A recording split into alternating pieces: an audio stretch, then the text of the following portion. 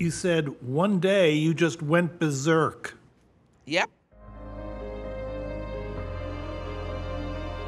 The only language they know is violence.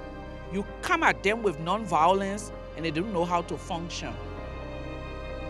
Może nie należy walczyć Noblem, no ale wie pan, ja miałem cel pokonać komunizm.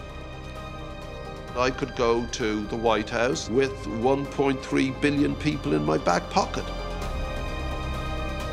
That's pretty big lobby.